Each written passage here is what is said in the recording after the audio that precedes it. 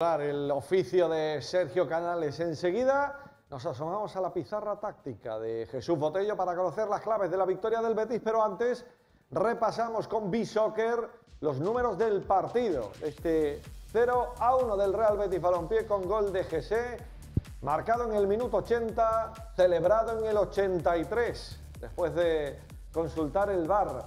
Tres cartulinas amarillas ha visto el Real Club Celta de Vigo. Ahí tienen también los cambios del equipo de Escribá. El Real Betis Balompié, la alineación, los tres cambios también que ha realizado Quique Setién en esta jornada. Y los números, los números del partido. Botello.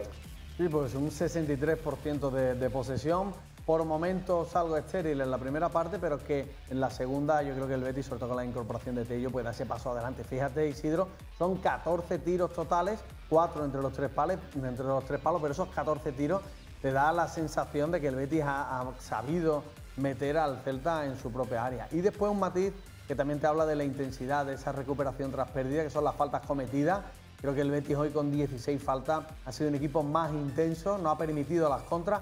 Hay una jugada eh, clamorosa eh, que recuerdo ahora de GC en un córner que no remata y rápidamente va a cometer esa falta táctica, ¿no?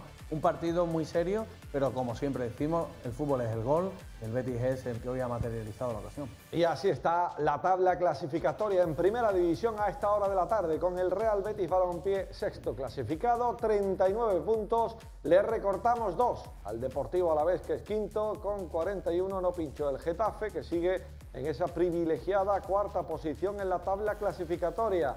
Esta tarde juega el Sevilla, lo hace también el eh, Valencia, el eterno rival ante la Real Sociedad que está también ahí luchando por meterse en esos eh, puestos europeos. ¿Cómo está la lucha eh, por Europa?